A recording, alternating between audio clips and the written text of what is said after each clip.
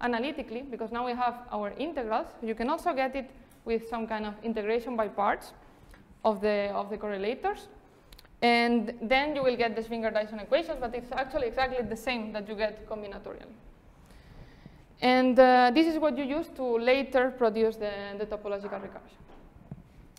So we will start with the, with the combinatorial part. So the idea is that we want to build bijections of different sets of maps.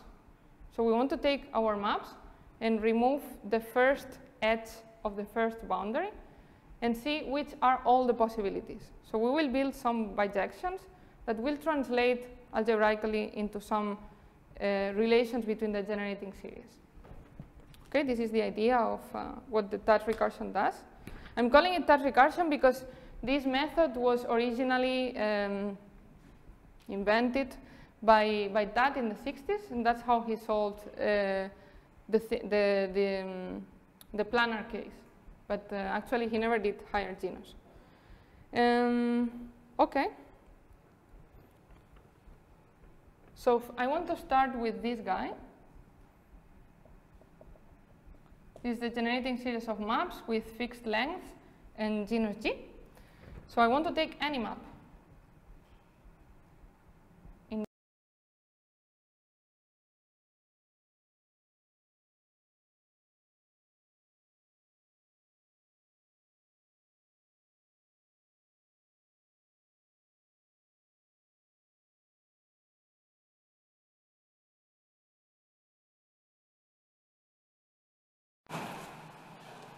This is the first boundary.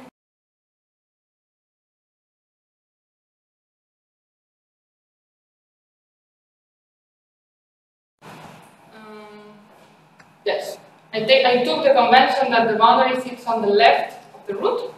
So this is okay, this is the first boundary. And now we want to separate all the possible cases of what, what is this guy. So the first guy, uh, in the first case that we will treat, this will be just an interior face of length g. So we can call it j-gon. I was calling them yesterday. And uh, you remove it. We find something.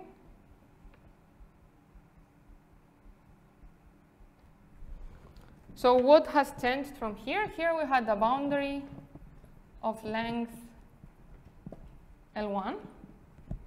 And now this goes to a boundary of length L1 plus j, so something that is longer because we, had, we have added this, uh, plus j minus 2. Minus 2 is because I removed this, this guy. And uh, remember that I'm counting half edges, so I'm actually removing 2. And also there is a canonical way of rooting the, the new guy, let's say. So we should just take a convention. So we can just say that is the previous one in the boundary, okay? But you can take any convention, it will work. So, okay, this tells us that this generating series will be equal to the corresponding term. So I want to sum, oh, sorry, why am I putting a minus? we want to sum over all possible um, lengths of this j-gon. Okay, so actually here I took my old convention, not the convention from yesterday. I will try to fix it on the way. So I, uh, what I'm saying is that I was only allowing these j-gons to be of length from 3 to D yesterday, if you remember. This is not how I wrote it down in my, in my notes, but should be fine, hopefully. So here we obtain uh, something that has one less j-gon, that's why I'm adding this T, and that has length L1 plus J minus 2. And it has the same genus. So, okay, it's equal to all these possibilities plus, and then we have to figure out if there are other possibilities here. You can probably imagine that there are many more possibilities, well, not many, don't be scared. Actually, there are four more possibilities, three more possibilities, depending on what you define as possibility.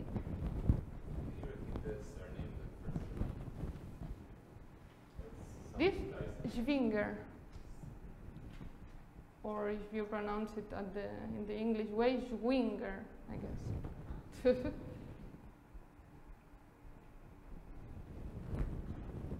okay.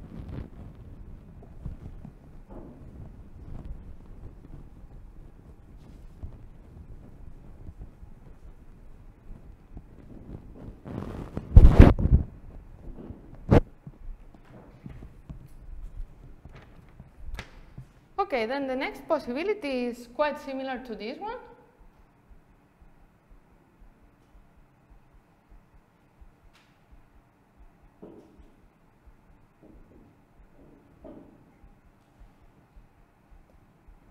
But we want that this is also a boundary now, because just, just because this is another possibility, right?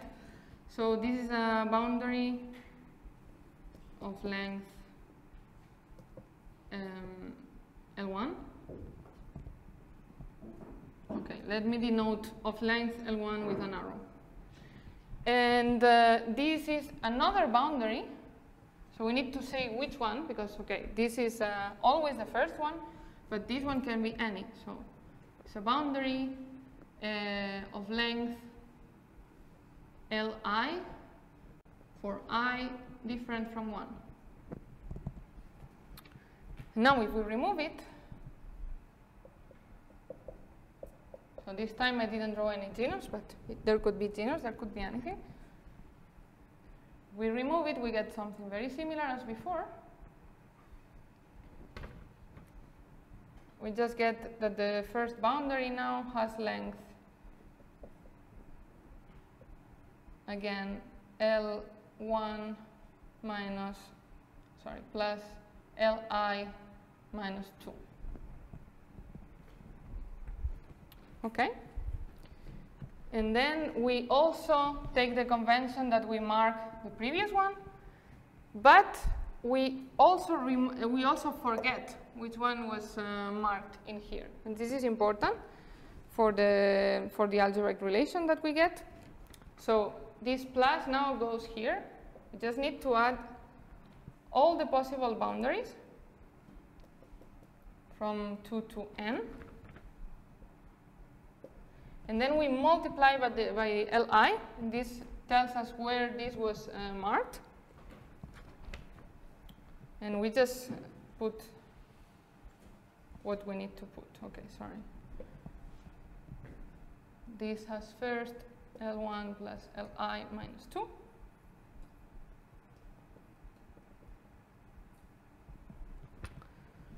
And uh, no, and then of course we want it to have the same number of boundaries minus 1. So the Li is not there anymore. Okay? Is this clear? Are there problems? No. Okay. Uh, then another possibility. I will do it here.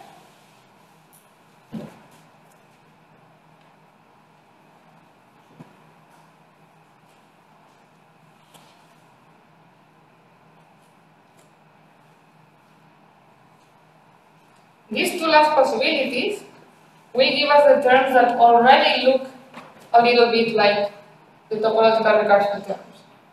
You can already recognize them because you already saw the formula of the topological recursion. So we have something like this. This is the first boundary.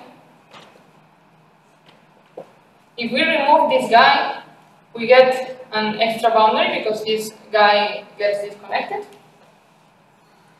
and uh, we reduce the genus by one. Okay, this is the, guy, the case in which these two guys are connected.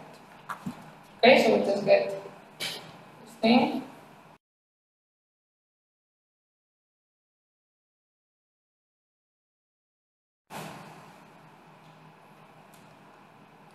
And again, there is a canonical way of uh, marking the new two boundaries. So there is no problem in this for our bijection. Now this has genus G minus 1. Okay, so this goes from n boundaries of lengths L1 and uh, some other else. This is the, the tuple of the other boundaries, the, the tuple of the length of the other boundaries. And then here we will have n plus 1 boundaries of length. Okay. J, so J could be anything.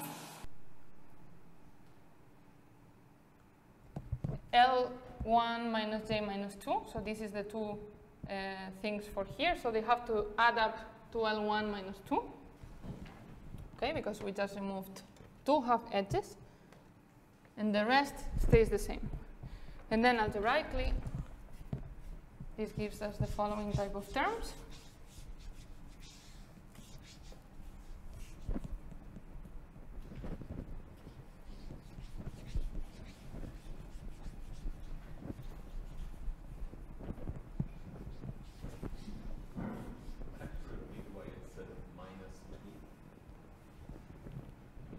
In which one? In number two? This is number three. Yeah, this, uh, this guy, you have to count it twice. So, okay, if you sum uh, all this length and all this length, and then you remove this, you are removing this uh, twice. so that has length one in your picture. The arrow from. So it has length 1 on one side and length 1 on the other side. So if you sum these two lengths, you will have the sum of the lengths minus 2. Okay. And actually the idea of the minus 2 is the same in every picture. Okay, and then I have to write the generating series that corresponds to this, right? So maybe, let's do it like this. The 3 for the for the Tutte recursion in the generating series is just the sum for all possible j's until l minus 2. And then it has to have a boundary of length j, another boundary of length L1 minus j minus 2. We just put them, the two of them at the beginning, why not? And then the rest of the boundaries stay the same. And the genus is reduced by 1. Okay. Then let's do the fourth type of term. And uh, yeah, actually, this guy we will need it. This sum will need we will need it for the next thing as well. So I remove the parentheses, but don't get stressed. There are things coming. Um, so the other possibility is the disconnected case. It's the same, but in which the result is disconnected.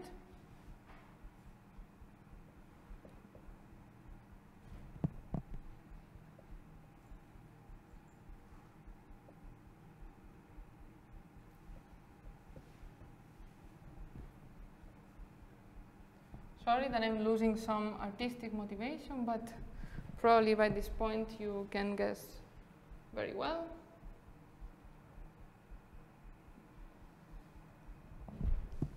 Okay, so in this case we had a genus and we had uh, some, um, what am I labeling?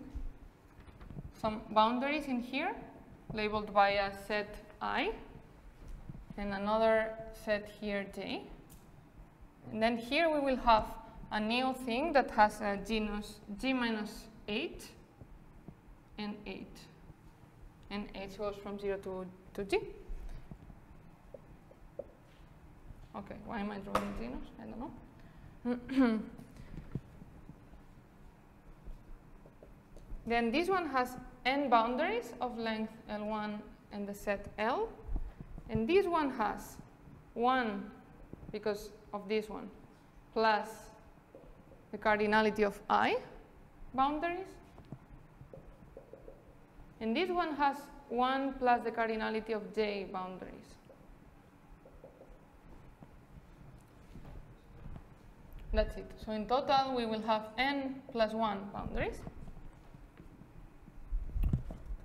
And these boundaries have lengths j i. So i is the um, is the tuple of the length of these boundaries. And here we will have lengths L1 minus j minus 2 and the tuple j. Okay? So uh, this corresponds, and this is the term number 4, to this sum. So we sum over 8 from 0 to t. And then we sum over all possible i's inside L.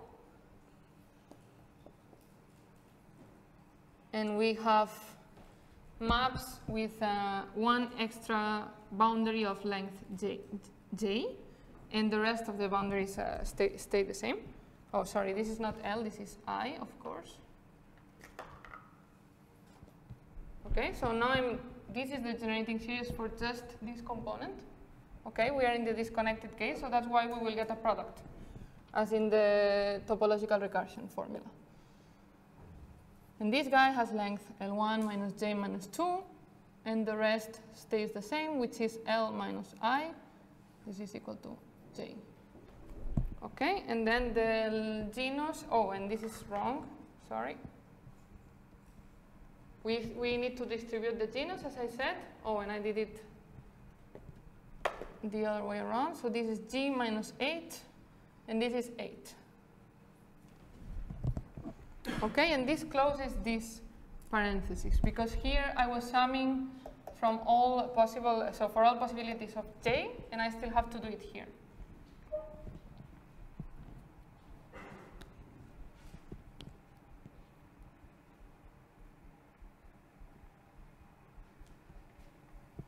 Are there questions?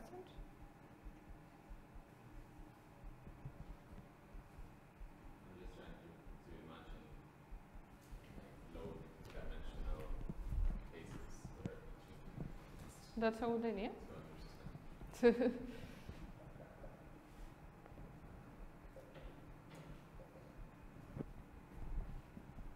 So okay, I'll let you reflect a little bit while I erase this.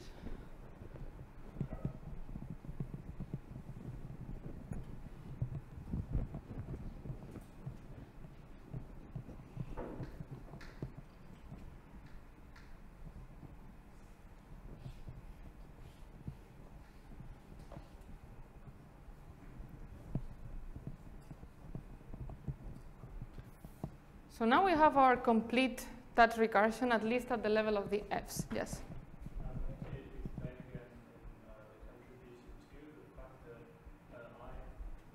This li? Yes. That's a tricky one. So to go from here to here, I kept saying that um, when we erase this one, we are erasing the root, and we want uh, our map to still have a, a first boundary. So we root it in a canonical way. So we don't have to take into account that in the bijection because it's taken care of. But this other boundary, in this case, is not. We don't remember where this was marked. So we need to multiply by all the possibilities of marking the other face that is on the other side. So every time you shade, that means that that is a disk in your complement. Ah, thank you. Yes. So, Yes. so for example, in in the first picture, that means that actually the shaded part is a sphere, and then you put something else. Exactly. And similarly, like for example, in number three, that means that you have a sphere in the shaded bit, and so you have like a genus, and you're like yeah decreasing the genus. So Yes, this Like- is this is a, a good question because here you have the you have to imagine that the the whiteboard is uh, closed. uh, the yes. sphere. So okay, but in here you get two spheres. Right. Otherwise, it doesn't have the right topology. Right. This uh, guy, and we wanted to have the topology of the disk. So Okay. this is what happens here, and also here you have two spheres. So you have two different maps disconnected. That's why you get the product. Okay. So yeah, exactly. And the i and j are just counting the number of roots that you have, the number of um, marked uh, Exactly. edges. Yes. Exactly. It's the tuple of lengths of the other boundaries that are not the first one. So the, the these are the first uh, cardinality of i ones, and these are the, the rest. Okay, thank you. Okay. More questions? No? Okay, so now uh, I gave you how the Tutte recursion looks like when we fix the lengths. But we are actually interested in uh, letting the lengths be anything. So we want to sum overall possible lengths, multiply by the denominators with the x's, if you remember from yesterday, to build our correlators and then see what we get at the level of these uh, W's, okay? And this formula, I will write it directly. Excuse me, Elba. Yes? I will probably annoy you a little bit, but this recursion is valid only if the LIs are large enough to you can remove an edge. So there are Yes, I, yes. I'm hiding some little details, yes. So you can figure those by, by yourself, maybe tomorrow if you want. yes. But those are easy, you just have to think of them apart. In number three, can you say again what the L minus two on the top of the sum is? Like what's what's L with no index? Sorry, I'm not hearing you very Huh. well. In of sum three? Ah, ah, this one? Mm. It's probably an L1. Yes, because uh, remember that when we sum these two guys, they can be at most L1 minus 2. So this is L1 in the equation. Ah, yes, yes, 2. yes. Ah, this is your question. Okay, yes, sorry. L1 minus 2, yes. okay, very good. You are very sharp with the details, so that means that you're understanding. Um, so let me now write um, what happens at the level of the correlators. So we actually want to apply an operator that looks like this. Just taking the sum over all possible lengths. Let's say, well, we can say zero, but we said yesterday that that case is almost trivial. And then we put something in here, and we just put the right denominator that keeps track of the lengths of the boundaries. So we want to apply this guy to all our equation. If we apply it to the first term, the one on the left-hand side, we just find our correlator multiplied by x1. Okay? This you have to remember from yesterday, the definition of the WGN. That was just exactly the application of this operator.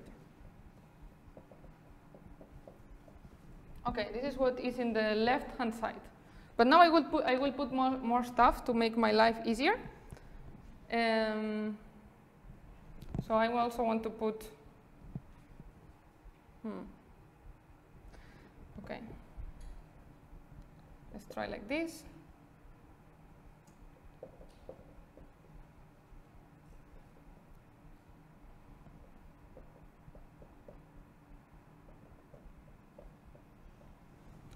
This you can check all the details. There are some terms that are a bit difficult, so I don't expect uh, people who have never done it to see them directly. I will just leave that as as a work for you to complete. So this whole guy is now uh, v prime of x1 times w g n x1 xn. So I should probably remember what V is. I have to have a bit of patience because I'm not even writing the equality yet, but it will be there. I'm just writing in the way that it will be easier for me to manipulate afterwards, otherwise I have to write it many times, and it takes a lot of time. And uh, so, yeah, I remind you what uh, this uh, V is. So V, well, V prime directly. So V prime is just X minus uh, yeah, now I'm mixing the notation from yesterday. Did I make? Ah, no, I made it uh, already correctly. Okay.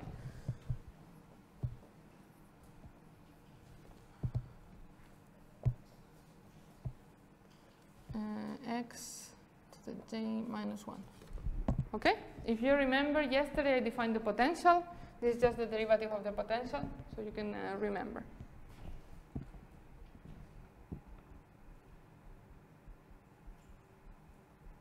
Yes. Okay. Uh, so you can observe that here you, we, we, just uh, this, uh, this equality is true.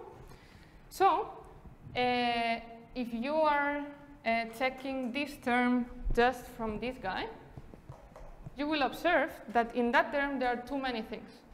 Okay? Because remember that in the W's, everything is in the denominator. You don't have anything uh, that is of uh, positive um, exponent in, in x.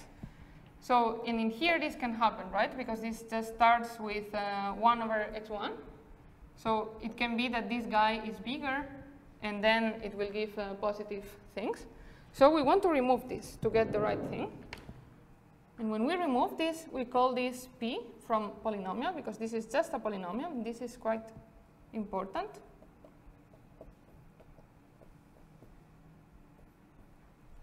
And this polynomial is just what I said, removing the right thing, which is just removing from this guy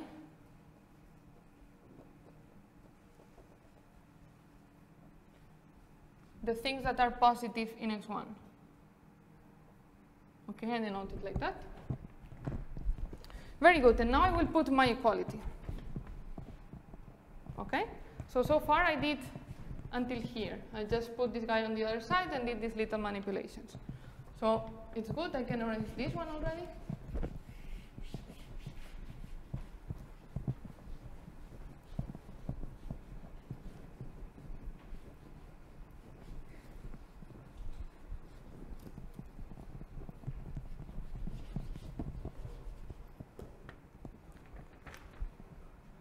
So on the other side, I will just put this one, and this one, I guess you will not understand why I get this thing, because this one is a bit complicated. But I, I just leave it as an exercise to not lose time with something that is just some combinatorics.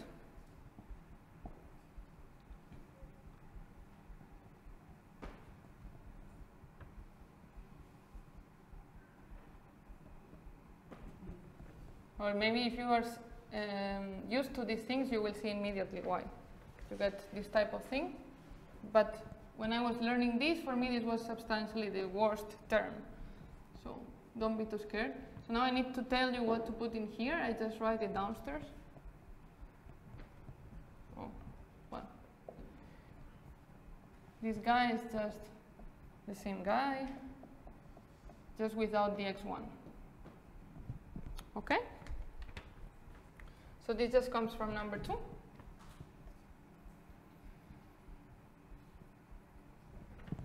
And then I put the other two terms, and these one are very easy to get, so you can think of them while I write. We just need to put topology, the right topology, g minus 1, n plus 1. And then the same variable, we. Because this came from the same boundary, that's why. And then the rest. And the last one, you need to sum over all possible topologies. This is what we were doing here. And then when you do, when you add the x's in the denominator, you can see that you can arrange them in, a- in the nice way. So it just gives you the product of the correlators with the split topologies, let's say. So something that looks very similar to the terms in topological recursion.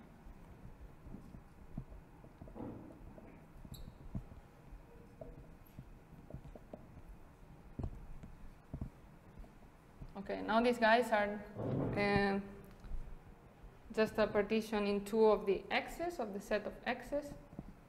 And then this, this just has uh, g minus 8, yes? 1 plus i boundaries. It's just x1 and i. And on the other one, we have 8, 1 plus j, cardinality of j, and x1, j. Okay, and we are done. This is our final Tutte recursion. Are there questions? Okay, so now we want to solve this. And uh, topological recursion was not the first, uh, I mean, we, we want to solve this recursively in the topology, right? So uh, we will first solve it for 0, 1. And this will give us the spectral curve.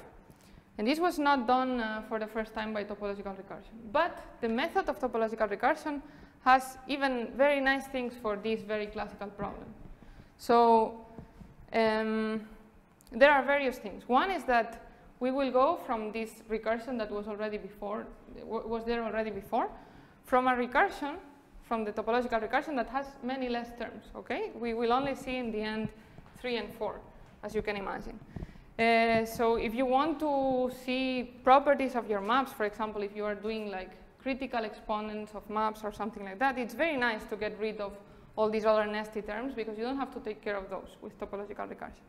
That is one nice thing. The other thing is that whatever you will check for your problem that you care about, if you do it with topological recursion, you will probably get something that is more universal. For example, again, if you do this, this study of behavior of criticalities directly with the formula of topological recursion, you will probably so be able to apply it to other problems because the method is universal and it works in many cases. And uh, apart from that, it gives a very nice explanation of uh, something that is called the rationality scheme in combinatorics. And I will tell more about that later. I'm just saying this little comment for the experts in maps. So should I uh, start with disks? Maybe here, is fine.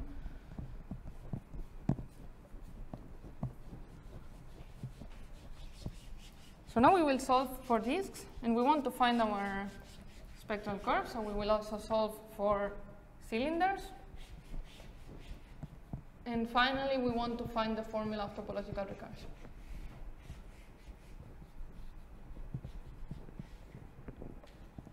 So how to do that? This can be called uh, part 4, I think. And sorry that I'm using the type, the same type of things. Maybe I can call it square here. And I should maybe change pen.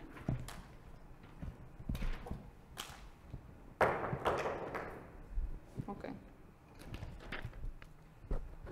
He didn't like it. Okay. So now we do disks. So we just write our Tutte recursion for the case gn equal to 0, uh, to gn equal to 0, 1, sorry. And we find the next, uh, the following thing. We find that there is a polynomial relation between x and w01 of x. So this will just give us the spectral curve.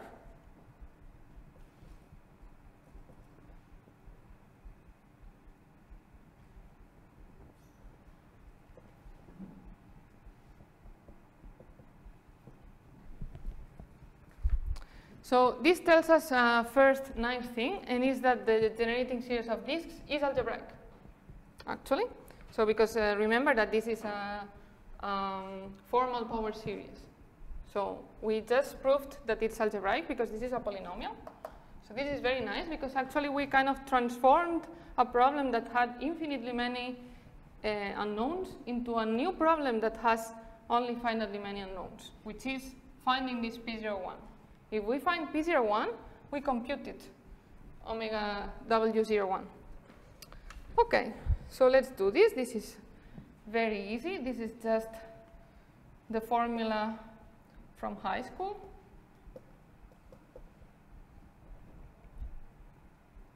to solve a quadratic uh, equation.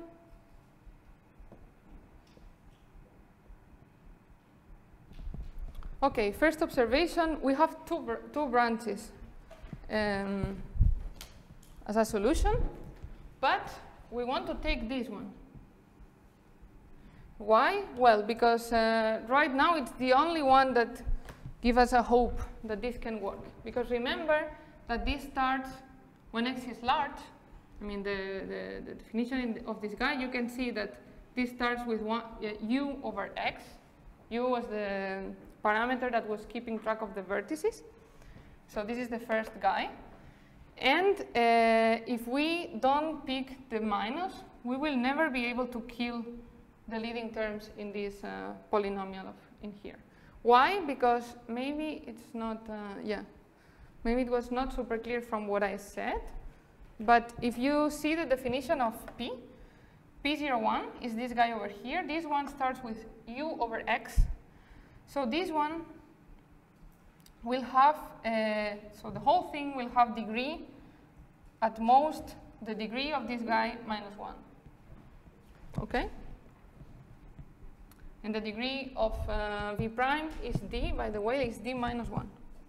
Sorry, D was the degree of V.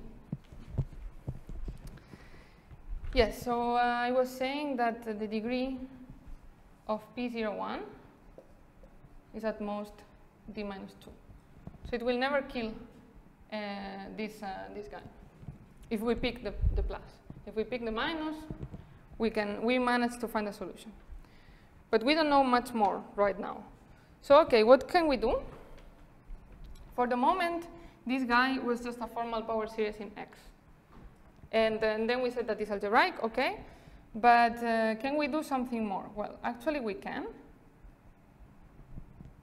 We know that this guy is well defined around infinity, but we can actually analytically continue it, and it's not so bad. It just has some square root in here.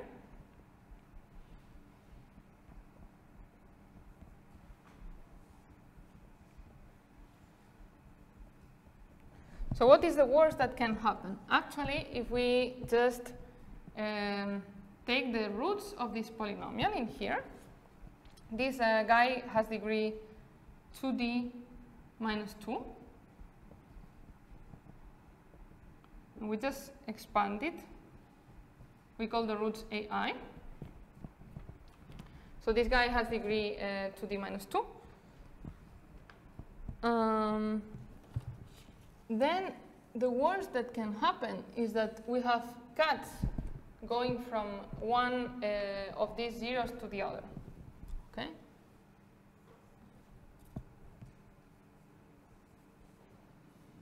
So we have these cuts, but in the rest of the plane, this is okay. So if we want to analytically continue the, the omega to the whole plane, it will not be okay. It will be multi-valued. We cannot analytically continue to the whole plane. But we can analytically continue to, to a lot of plane, so we, we should just avoid these uh, cuts that come from the square root, okay? it will take some time to see the exact structure, but probably you saw these things in many occasions in other cases, so it doesn't sound too unreasonable. And now we want to see what happens exactly. And what happens is even better than that. That is uh, the worst scenario that we have now that is not so bad.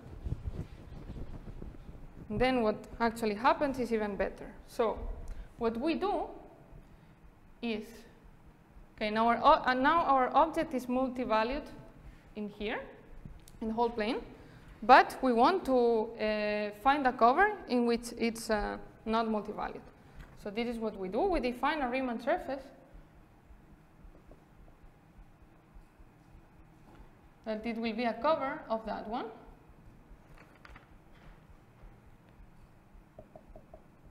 just as the zeros of our polynomial.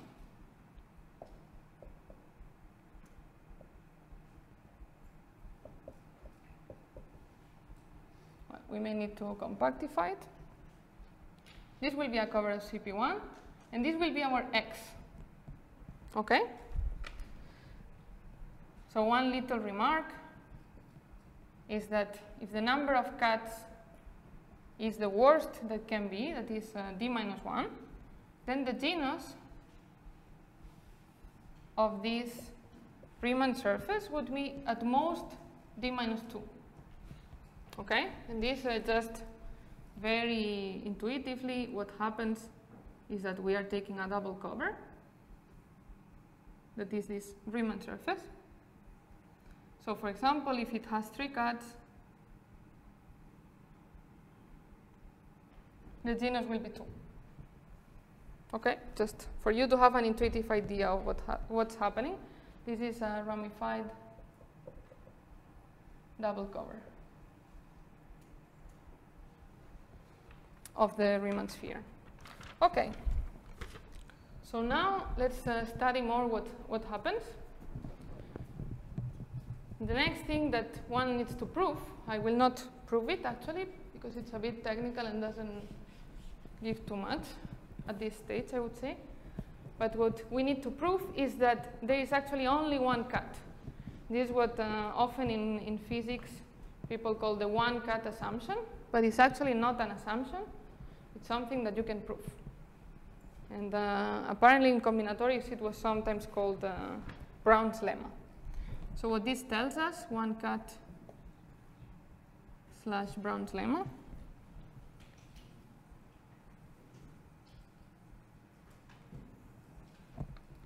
is that actually the thing, the discriminant, uh, only has two poles that are two zeros that are simple, and uh, the rest are just paired, two by two. And this eliminates all the cuts except one.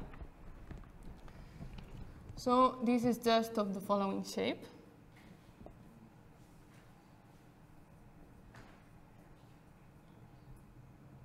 Sorry, there is a 4 in here. Ah, I didn't write the 4. Sorry.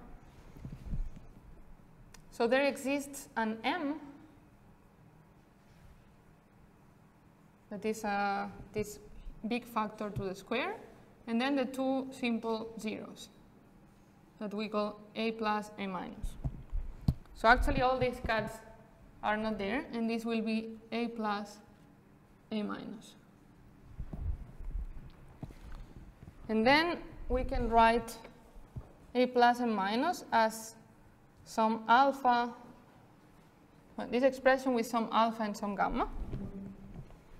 And these guys are just power series. Ah, actually, not in this formalism. They are just polynomials. No, are they polynomials? Well, they are at worst, at worst power series in the T's.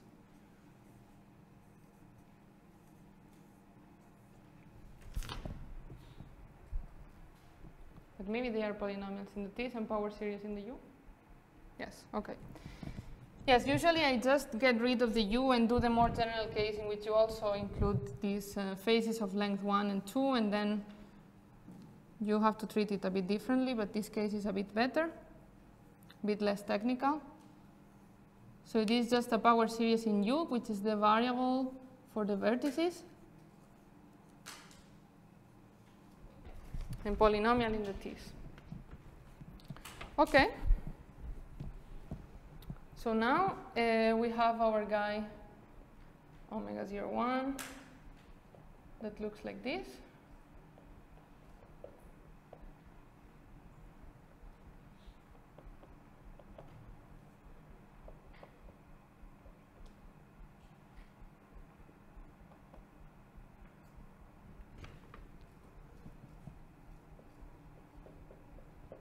We have shown actually with the with the lemma that uh, our Riemann surface has genus 0. So it has to have a rational parametrization. And you can actually find a very nice one that allows you to write this just as a rational function. And then this is very, very nice because we turn our algebraic uh, function into now a rational function. So for this, we need a new uh, variable, and this is what is given by the x. Now our uh, z, our new coordinate, lives in the Riemann sphere. Okay?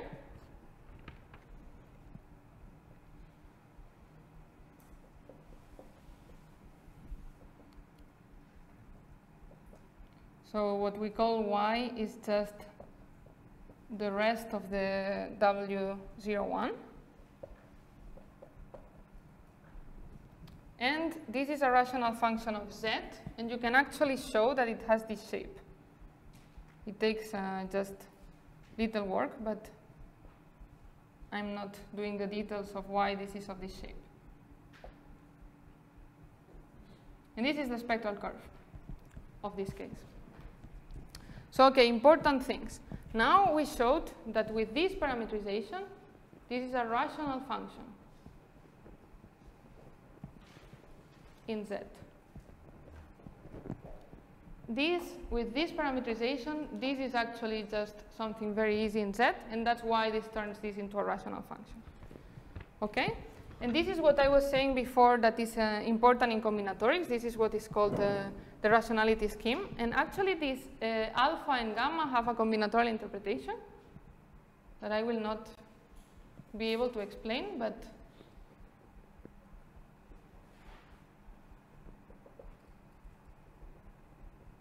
it's a, it's a nice combinatorial interpretation in terms of mobiles that are these uh, things that are in bijection with maps and that are extremely useful.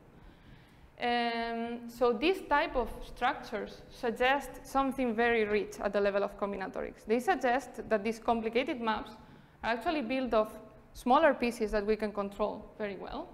And well, this has to do with this combinatorial interpretation that I'm putting under the carpet. carpet. But it's very nice that our generating series is a rational function in this variable that we understand in this way. And the good thing of topological recursion is that it gives you for free, if you prove that your problem satisfies topological recursion, it gives you for free that this happens for any topology. This is not something easy to prove at all in, in with just, just with combinatorial tools, I would say. So this is uh, something nice. So okay, let's describe a little bit more the spectral curve so we can work. So okay, maybe I should do the, the picture of the, of the transformation. So what this has done is opening the cut, doubling our thing, and sending the exterior of the, of the cut to the interior in here. It sends the, the a minus to minus 1, the a plus to 1, and well, it has doubled the thing. Maybe it's easier to, to see if I draw it like this. Okay, this was our guy that like this one, but it's of genus 0 because we showed that there is only one cut. So these are spheres, they, they are three-dimensional. and then here we have opened the cut. So this has turned into this double cover. Okay, here we have sigma plus, sigma minus, and this is sigma plus and sigma minus represented in here. Yeah. So this is the, the, the idea of what the x does. Then we should compute the ramification points.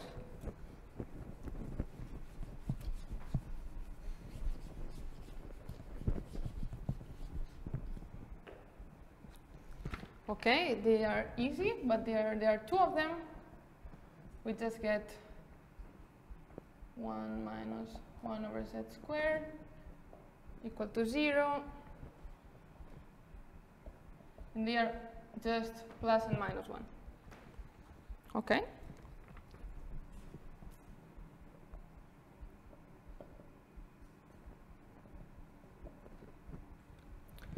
And what else do we need? We need the involution around each ramification point.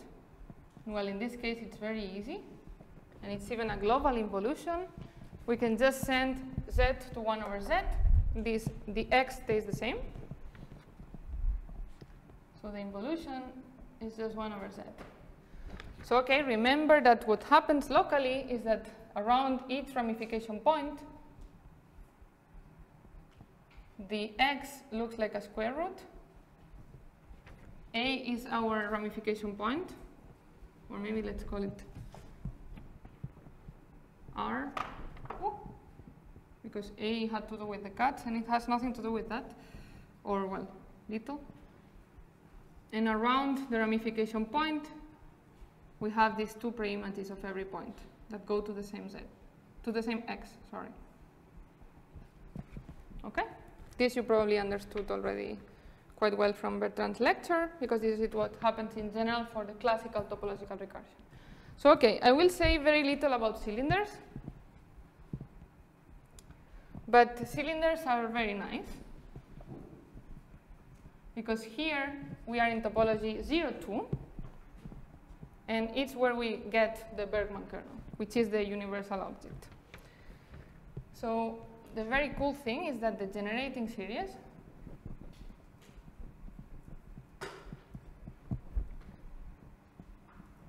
in the z's that we found is universal.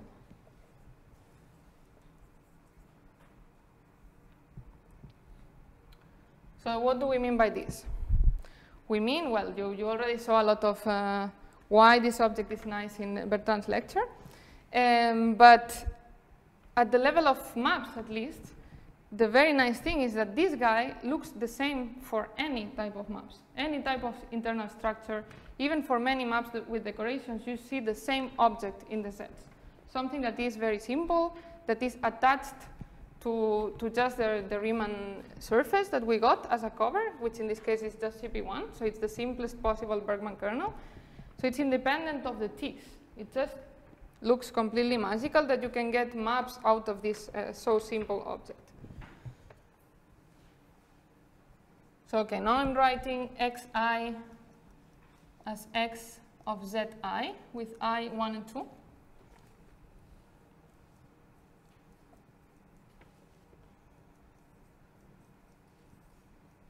And we just get, we need to add this shift that may look a bit mysterious at the beginning, but it's just something that we need and doesn't contribute at all at the level of combinatorics. But with that, we get the Bergman kernel here. So I don't know if this was denoted B in Bertrand's lectures, maybe. but it's the same Bergman kernel as for many problems, as for the Airy curve, for many things. And uh, it's just because uh, the spectral curve is of genus 0. So we just get that one, and uh, it's uh, the fundamental differential of the second kind on CP1. Uh, excuse me, Elba. So far, did you put a dx1, dx2 in the definition of W02? Sorry? Was there a dx1, dx2 in your Ah, no, general- no. no. Yeah, thank you. This is very good. This is a mistake. The dx1, dx2 should be multiplying the w02 because the w02 is a function and we want it to be a differential. Thank you. Um, yeah, I was just wondering if I wanted to say something else. So yeah, this is very nice because usually this happens for many, many problems, as I was saying. You put here your combinatorial thing, you add this shift that does nothing combinatorially, and you always get the same thing. So from the same thing, if you know the x, you cannot get many different numbers for topology 02, just from the same type of object. Okay, so I will not say more about this because Bertrand already said a lot about the general Bergman kernel. And by the way, this is something that you need to prove. It's not uh, trivial at all that this is true. You need to prove it also using uh, Tutte recursion. But I will skip that thing because I think it's more, it's better if we see the details of the stable topologies. Maybe I will skip that. Uh, because with this you can learn a lot of particular tricks for, for a specific case, but that are useful in any case of topological recursion.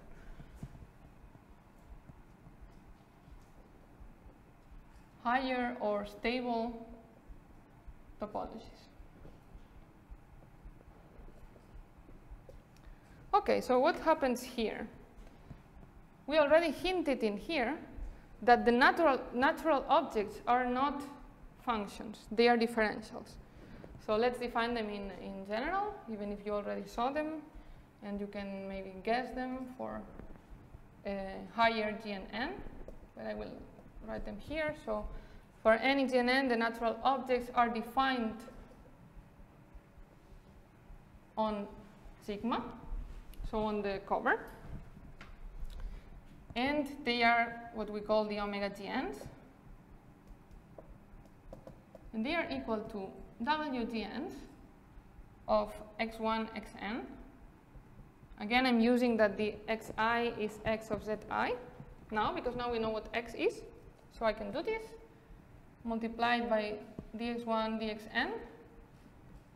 And then for uh, base topologies, we need these little shifts. This one is the this guy in here. Yes. But uh, turned into a differential, and then we need the shift for 0, 2 that I just talked about.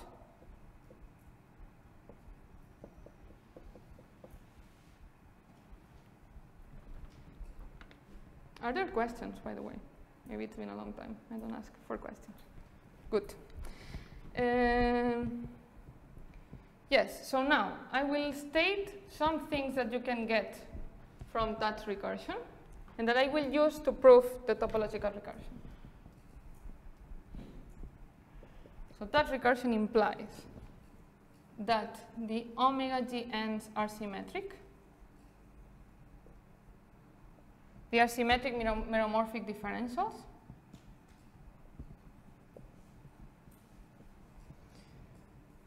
That they are skew symmetric. This you can get by induction on the topologies. I will not do it, but uh, it's easy. You can again get it from the recursion. Ah, yeah, I already said that. Okay, what do I mean by, by skew symmetric? I just mean that if we change this to the, to the guy with the um, omega, we just get a minus sign.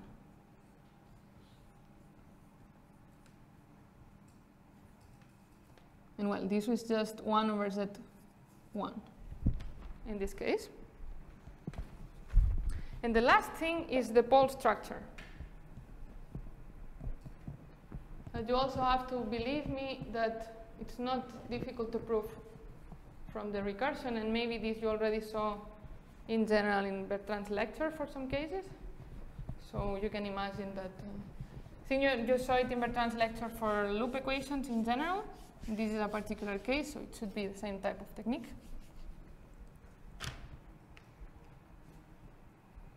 So the, for stable topology, so for 2g minus 2 plus n positive, we have that uh, the omega g ends have poles only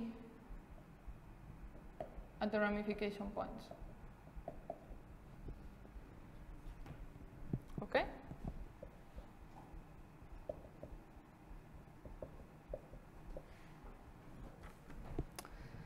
Nice. So now we are ready to do the final proof. Hopefully, let's see how it goes.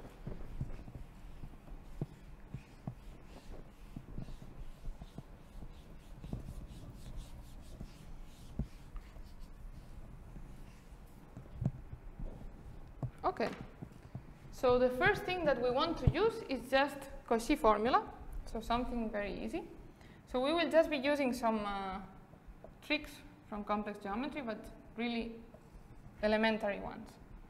So Cauchy tells us that we can write this as a residue at z equals z1. We add this simple pole, just because we want to recover this guy. And we just put this guy in here.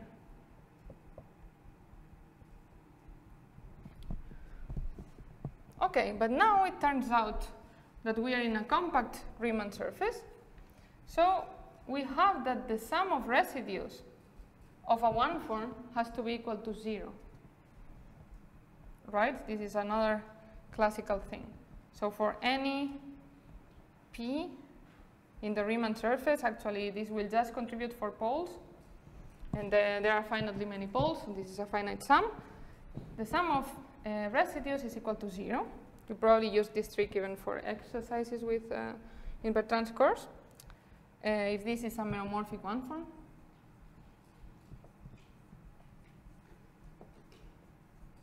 on the Riemann surface. Then from this, we can just look at the other poles of this thing. And the other poles, we just said this has no more poles. And we just said that this has only poles at plus and minus 1. So this is equal to the residues and plus and minus 1 of minus this. Okay? So we just take I'm just reversing the sign in the denominator. We just take this.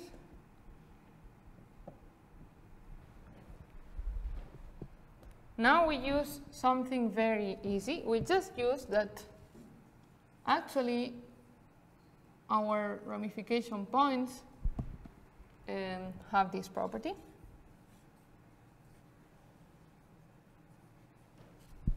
So we can actually sum another term like this with 1 over z, and uh, they will have the same residue, because we are taking residues at these points. Okay, so we can sum them and divide by 2.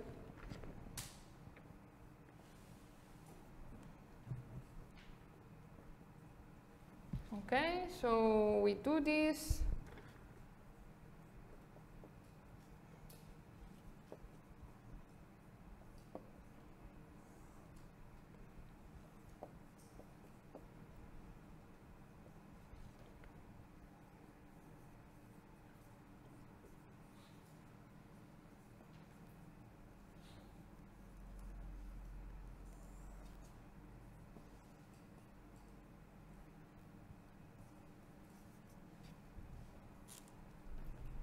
Ah, and I still have one whiteboard, very nice. Um, so now, I want to use skew symmetry. So, okay, just by skew symmetry here, we will just be able to write this guy again like this, so with z, but we have to change the sign here. So this is just what I'm doing now.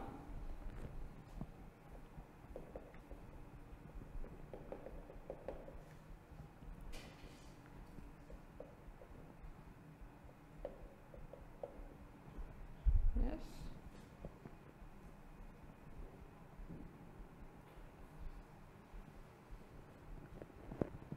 Um,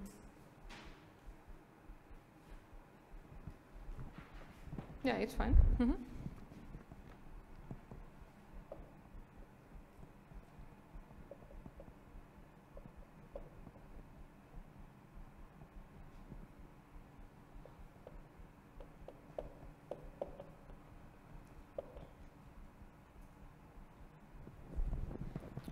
Okay.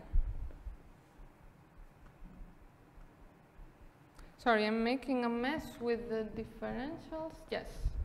So, okay, we have the dz inside in here. So, this is was dz1. And uh, here, where did the dz1 go? I just didn't write it.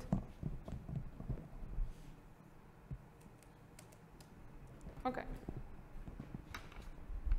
But now, observe that this thing is something very familiar. It's already, okay, maybe let me just not write the whole thing, but I will just write the thing inside the residue is just this integral of the Bergman kernel with respect to one variable of the Bergman kernel.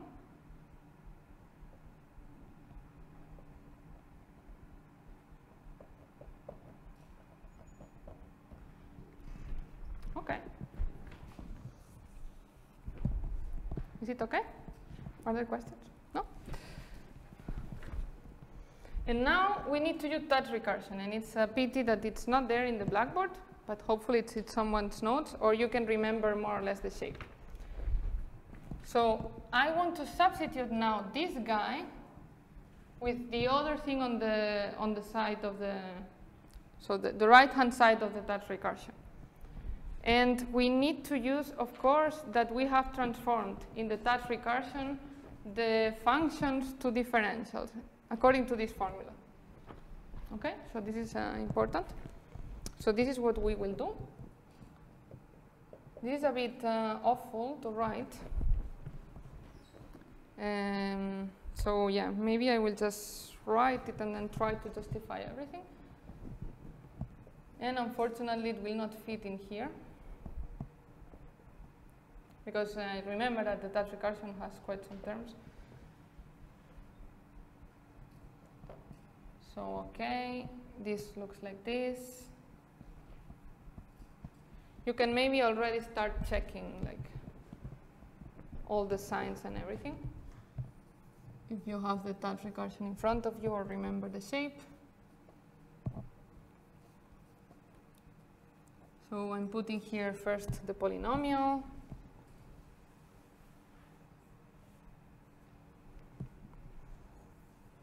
I'm turning everything into differentials. Remember, this was the polynomial, so I have to add all these the x's. Maybe I will not write more here because I will do manipulations on the formula later.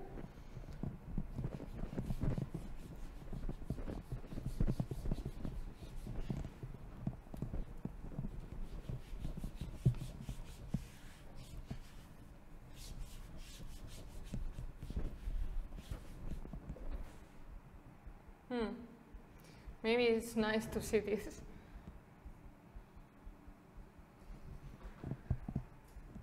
But maybe this we don't need.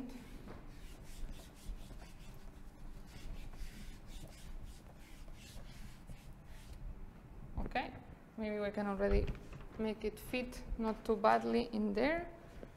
So there are more terms. Um,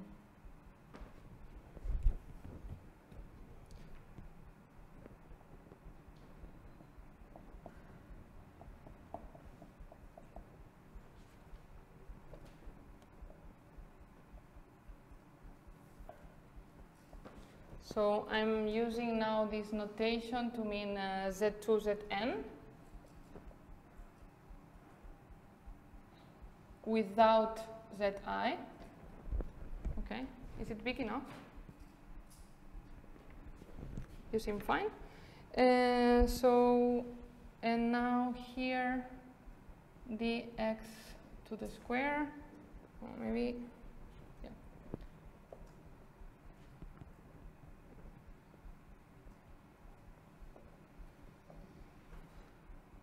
This is Z2, Zn, remember.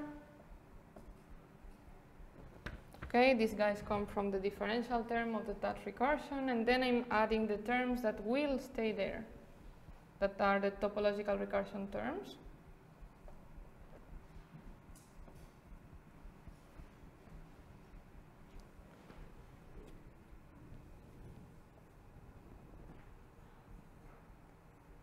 So here I'm writing no disk, and it's because I removed the disk from there and I put it on the other side of the equality. Remember that in the Tutte recursion uh, there was no, no disk. We also had that topology included.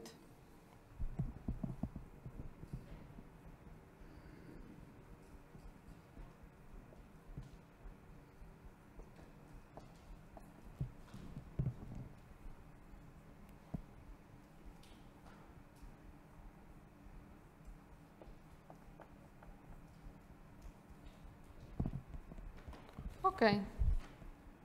Yes. So, okay, let's comment a little bit. It's not so bad. Uh, we just substituted this guy by the WGN times dx1 dxn and with these shifts for 0, 1 and 0, 2. Um, then used Tutte recursion. So remember that in Tutte recursion you had this type of guys, I was saying, but here you also had disks. So we took the disk term from the Tutte recursion, we put it on the other side, and we combined it with the term from Tutte recursion that had W and V prime. And uh, because there is this combination, that gives you exactly the omega 0, 1 from the denominator in here. Yes, just remember that, well, you need to use also skew symmetry, so it's a bit uh, tricky, but not too much hopefully. Remember that this is uh, just equal to this.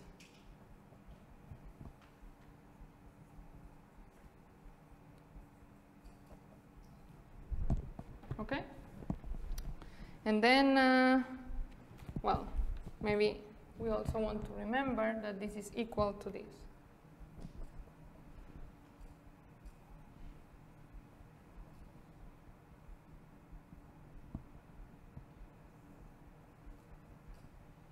To know how many poles this has. Sorry if this is getting a bit too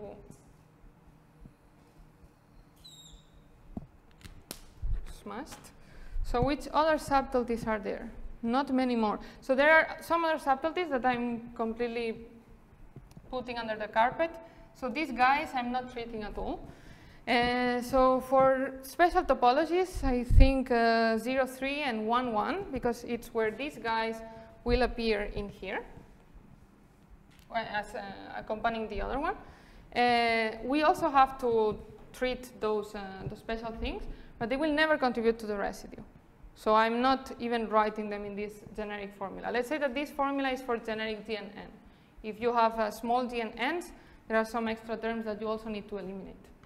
But okay, now I will eliminate all the terms that are not there, and we need to justify why. So at least uh, I will do it for the generic case, and believe me that the other cases are easier. So if you are care careful enough, you should be able to complete everything um, with the tricks that I'm going to show.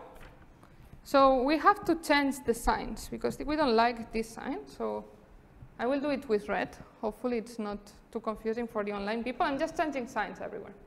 So I want to turn this into a plus. Oh, sorry, not this one.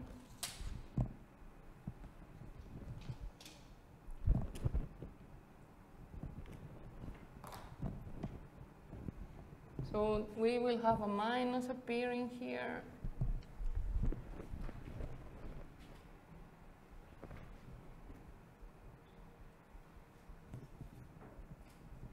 What else do we want to do? We want to use skew symmetry in some places. And I was saying that this already looks a lot like topological recursion, but still we want that this is equal, and if I want to be consistent with the color, so everything is correct, picking the right color, of course, the right uh, color with color. This guy, we just write it like this by skew symmetry. So we get exactly this guy that appears in topological recursion. Here we do exactly the same.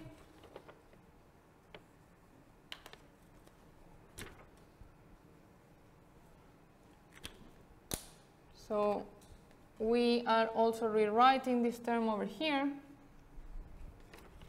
as the same first guy, so the same sum, the same first guy, and in the second guy,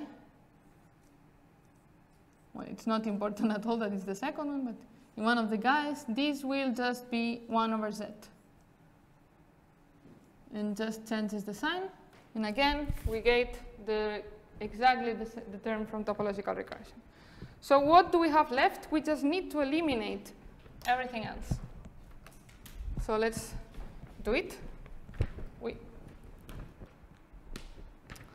how to do this? So in here, we have to check which are the zeros, okay? Because we need to compute the residue, remember. So this has, oh, this blue is not, maybe not working very nicely, but if I do it in uh, black, I think it's going to be terrible. So this guy has a simple zero, no, no, sorry, a simple pole at z equals the ramification points, because this guy has a double pole, and we take the integral. Oh, sorry, no, this is not what I'm saying. I'm saying that this guy has a simple zero, just because of this integral. This guy will be equal to this guy, okay?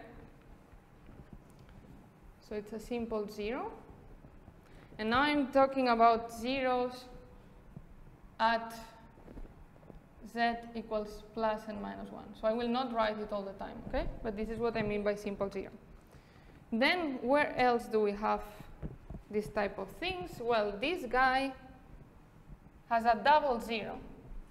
Why? Because this guy has a zero and this guy has a zero as well. Okay? So this guy has a double Okay, this is probably very bad.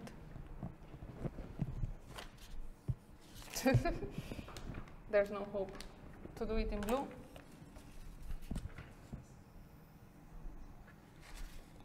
It's a double zero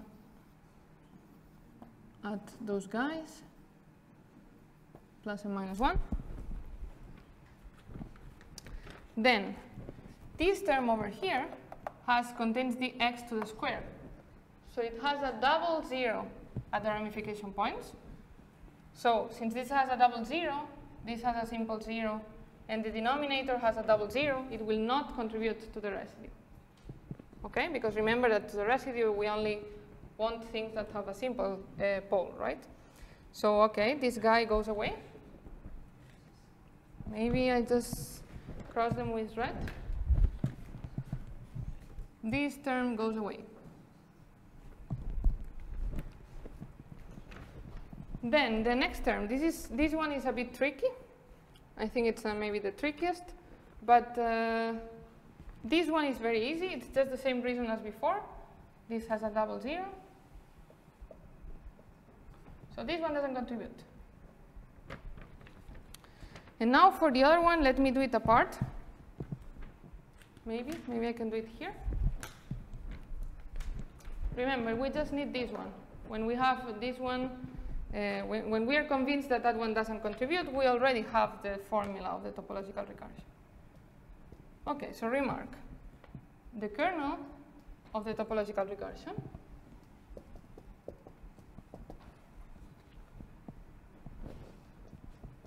I remember what the kernel is, but you see it already there.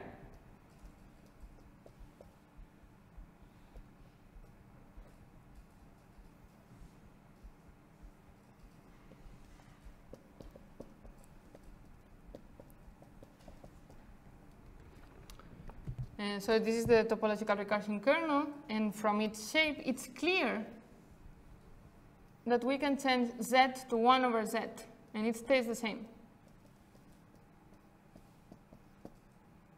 Why? Because if we change z to 1 over z in the numerator, we just change the sign. And if we do it here, we also change the sign in both, so it's good. We have the same. And then, okay, I still need a big thing.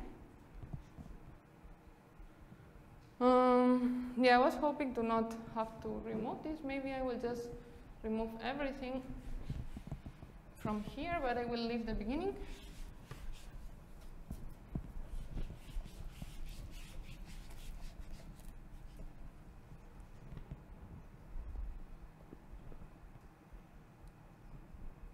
So second part of the remark. Well, this guy, the residue of that guy is equal to zero. The residue of that guy times the recursion kernel is equal to zero. Why? Well, it's very easy, but let's do it.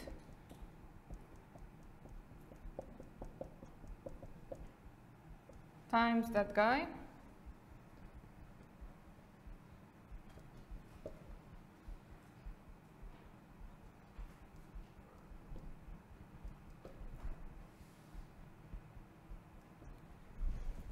Okay, so we use the same trick as before. This is the same as changing, uh, so the residue will be the same if we change z to 1 over z everywhere. But if we change z to 1 over z here and here, that stays the same. So the only thing that changes is this one. So we can take those two guys and take the half of it, and we will get what we want. So we get uh, the thing that stays the same.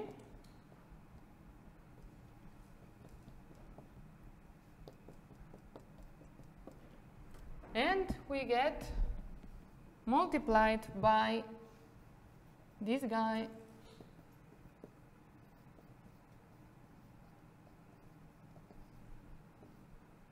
plus this guy with 1 over z and the same in here.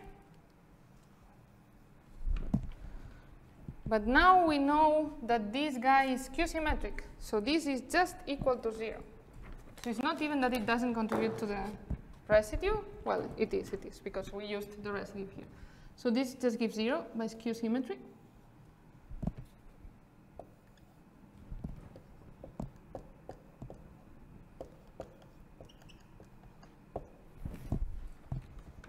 And we finished. We are able to kill our last guy our, our last non-topological recursional guy. So we just got the formula of topological recursion, which is this term and this term. the residue of the kernel in here is equal to omega gn. So we finished. Okay. Are there questions? No? now I'm not very sure if uh, you are all very tired or you are understanding everything. Probably the second one.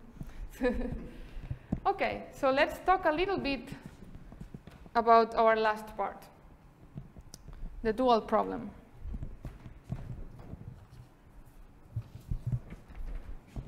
Mm.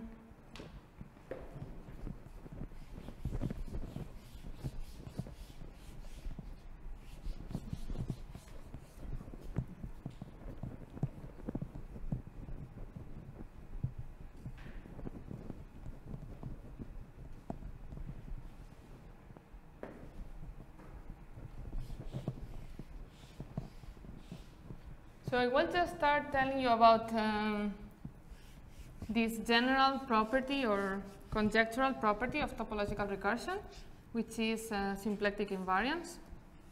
Because I think Bertrand didn't really mention this. And this is uh, one of our motivations. Like uh, understanding what symplectic, the most complicated case of symplectic invariance means, which I think the full understanding of this is still open. So this was one of the motivations to define these fully simple maps. Not the only one. So now I call it like the dual problem of ordinary maps because of this reason, but also because of some other reasons. So it's, a, it's an interesting uh, phenomenon. So symplectic invariance of, of TR.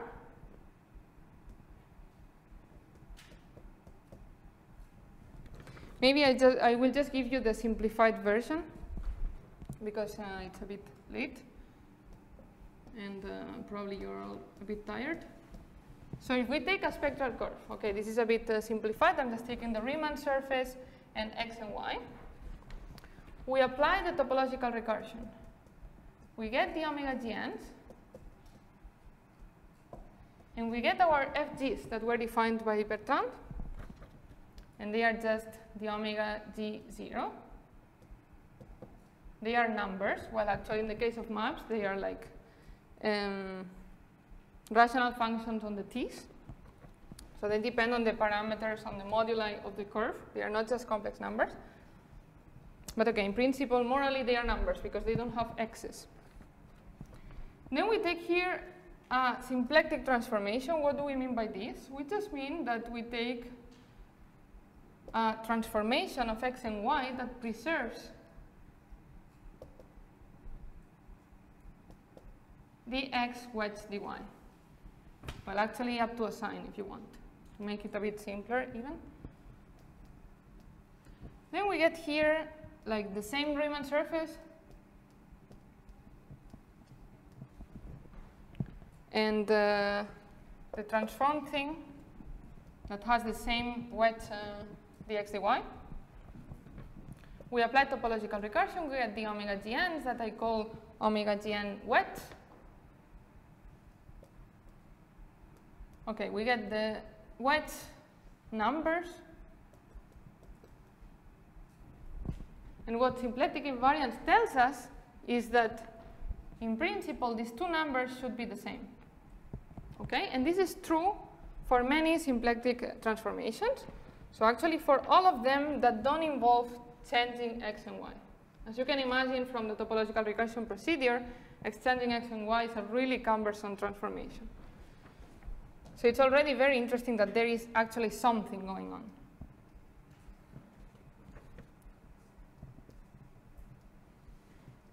This has many physical motivations, so maybe, yeah, maybe I will just not talk about this. I'm not going to justify that it, this is fine for the other transformations, but believe me that it's uh, true. So for this one, uh, the one that I call E from exchange, um,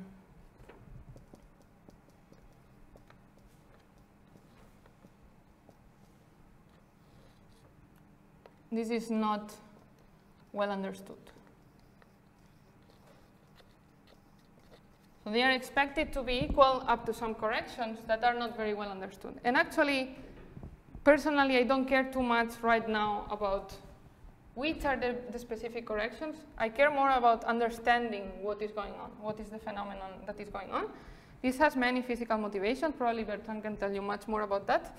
Um, like has to do with background independence. It has to do with uh, the fact that exchanging x and y in the quantum curves makes some sense from the physical point of view. Has to do with many things, but it's quite surprising and quite strong. You can use it to prove strong things. Okay, now I promised that I would justify why I'm calling fully simple the dual problem of maps. Well, actually, if you just take the uh, spectral curve of maps, so x, the x that we saw, y, well, let me call it w, but it's re very related to the y. Or you can think it's just the y, to simplify a little bit. It's just the generating series of disks. We apply the topological recursion. We just proved this is one of the problems that satisfies topological recursion from the origin of topological recursion.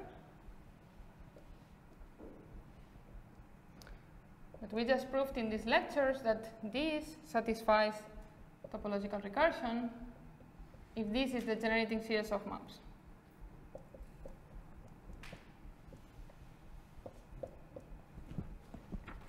Okay, and now what happens if we extend x and y? Well, you can probably guess.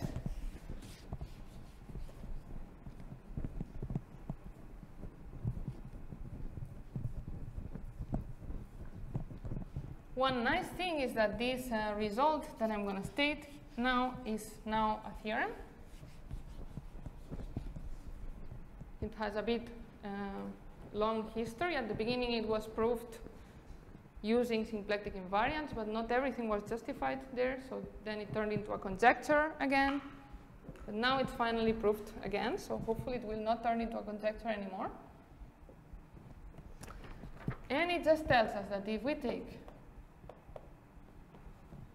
the curve exchanging x and y, we apply the topological recursion, we get the wedge omega gns. We have to divide by the coordinate associated now to the new x. Here we get fully simple maps. This is the generating series of fully simple maps that I wrote yesterday.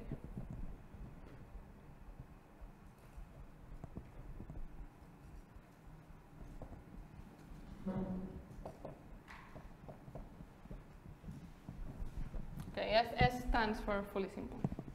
Okay, so this is uh, quite nice. But let me tell you what happens. Okay, what are the base cases of this theorem? And then maybe a nice exercise, if you want to understand a bit how these combinatorial maps work, is play with these base cases because they are easy to prove. I mean, this is easy to prove from combinatorial transformations. Cylinders is already not so easy. But uh, okay, disks is actually a nice exercise, so maybe we we can propose it as an exercise for tomorrow.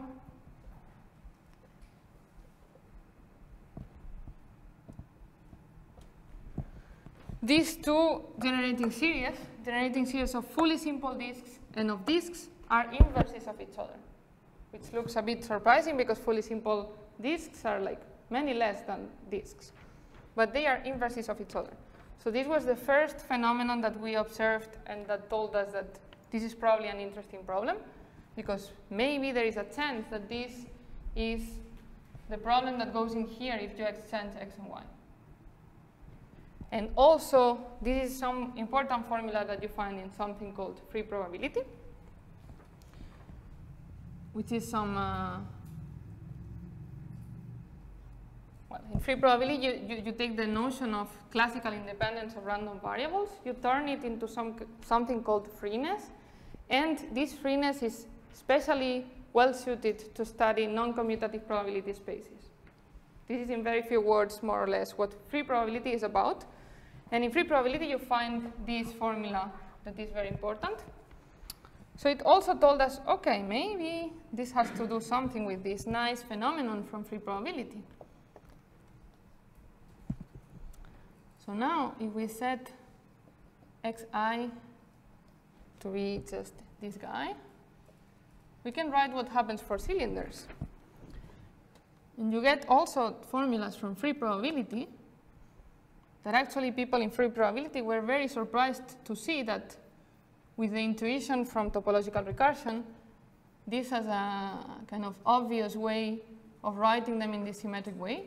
They thought it was impossible to write their, their formulas in a symmetric way. But this is uh, Bertrand's uh, of writing everything with differentials and things get more natural. So this is just the formula that you get. These two things are the same. And of course, this is something that we wanted to even be able to state the, the conjecture because uh, this is the base case for disks. Because as I told before, the Bergman kernel is a universal object. Sorry. And you get here that in the z variable, so if you take the x's that we, we showed before, this is just the Bergman kernel in both cases.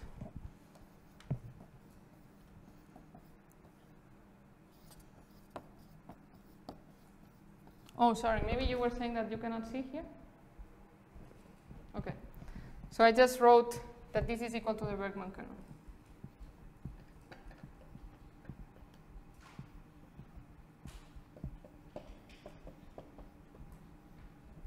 In both cases and with the right coordinates. So again, from the same Bergman kernel, if you have the right transformation for the x, you can extract very different numbers, ordinary cylinders and ordinary fully simple uh, cylinders.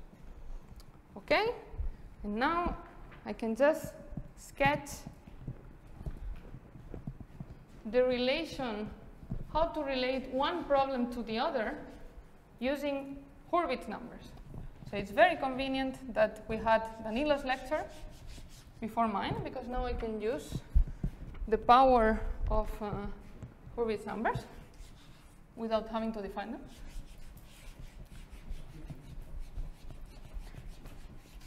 Yeah, sorry. Uh, So, uh, I wanted to ask, the fact that B is the same for uh, the two sides, is that, is, so you're making use of that fact to extract X zero two, right? Uh, But is that itself a, a fact that is obvious that B has to be the same for both No. sides, or is that something we have to show? Not at all. It's not obvious at all. It's what we wanted to show. Actually, so this, that the fact that this is equal to the Bergman kernel is what is shown for the ordinary cases that I, that I explained, no? So we wanted, I mean, our intuition was telling us that for this problem, if you take the same kind of expression, but with the other problem, so with the other variable and with the other generating series, here we should get the same Bergman kernel for the z's. This is what we wanted to prove. So actually I am writing this equality, but we wanted to prove that this is equal to this. Because then, really, when you exchange x and y here, everything makes sense. You get here the usual Bergman kernel for CP1, and you get here the usual Bergman kernel for CP1. So it's, it's crazy that the Bergman kernel is the same, just for completely different problems. And of course, to extract the same numbers, you have to change the meaning of the things. You change the meaning of the generating series, and you change what this guy is. This is uh, topological recursion. Here you're changing 0, 1, and here you're changing the meaning of what you want to count. But in the z variable, they have the same shape. Uh, So I just want, want to know what fact is used to find what fact. So we use the fact that B is the same to find what is X zero two, or we compute X SIMD02 and show that B is the same? Uh, I mean, what f- follows from what? Yes. So I guess this is what we wanted to prove, this equality. And to prove it, we decompose ordinary maps into fully simple pieces combinatorially, and we show this equality. And since we know that this is equal for ordinary to this, then we show that this is equal to this, and we prove what we wanted.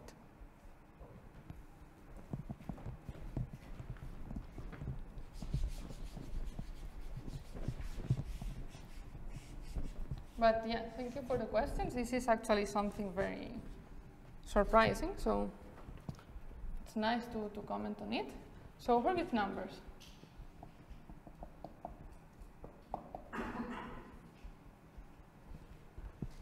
So remember from Danilo's lecture that this is the conjugacy class in uh, GL, where L is the size of the partition. So it's just the sum over all parts of this partition. This was denoted like partition of L in Danilo's talk. Just to remember some notations. Okay, so this is the conjugacy class of cycle type lambda inside the symmetric group on L elements. Okay, then we define, but uh, I'm gonna rely on the fact that you already know about this a little bit. We define double Hurwitz numbers. You saw in Danilo's talk, I think, simple Hurwitz numbers. Now we want to fix two ramification profiles. So we are just defining this as the number of covers in which we fix two ramification profiles, the ramification profile over 0 and over infinity. The 1 over 0 is given by lambda, the 1 over infinity is given by mu. Here we will have some genus that we know how to compute. Well, even some connected components because this is disconnected. And well, this is just the number of these coverings, the ramified coverings of the sphere, and we also allow simple ramifications in other points. And we know how many of the simple ramifications are. They are all related by the Riemann-Hurwitz formula that Danilo presented. There are k of them. So we can also count this using the symmetric group, as you also saw in Danilo's talk. So this is just the same as the tuples of permutations. We take sigma to be of cycle type given by lambda. We take the tau i's of v uh, being uh, just transpositions, so of cycle type 2, 1, 1, 1, 1. And we take that the product of these guys has to be of cycle type mu. Okay, so this is the definition of Hurwitz numbers. There are also some automorphisms that I'm not going to talk about at all. But remember, then I can state the theorem and we can finish here. So the theorem will tell us how these two problems are related. Ah, this is the bad one. Via Hurwitz numbers. Maybe tomorrow we can, whoever feels like, can deduce some things from this relation. But the fact that these two problems can be related with these Hurwitz numbers is also what is making me right now call them dual problems. Related to, to other things that I'm not really going to discuss, but okay. Ah, okay, so I have to say, that's why I said uh, that they are also this. I have to say what I mean. Just uh, briefly, if we write the transpositions like this, and we have that the, sorry, the BI are increasing, but weakly increasing. Then we call this weakly monotone, and we denote them just like this.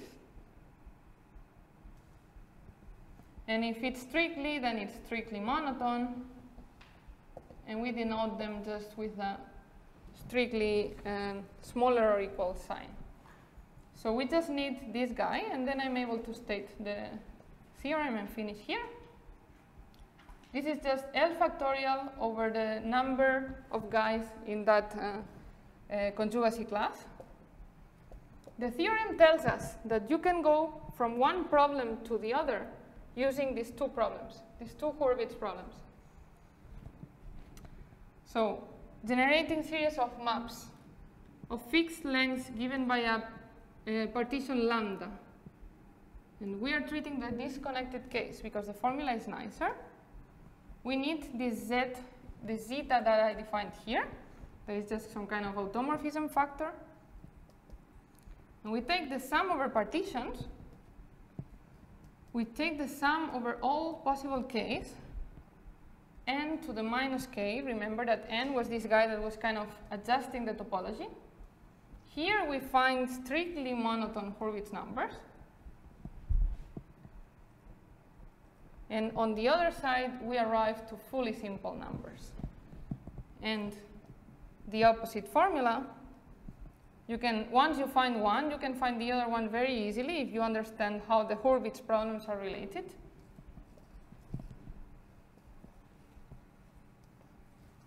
And actually, nowadays, there are three proofs of this uh, theorem, and each proof gives us different information.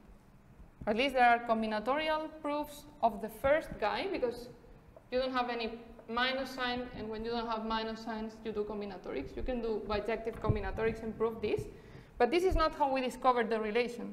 We discovered it with the second one using matrix models and uh, the power of Weingarten calculus that helps us compute unitary moments of unitary, um,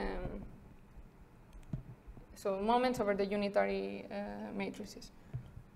And here on the other side, we find ordinary maps.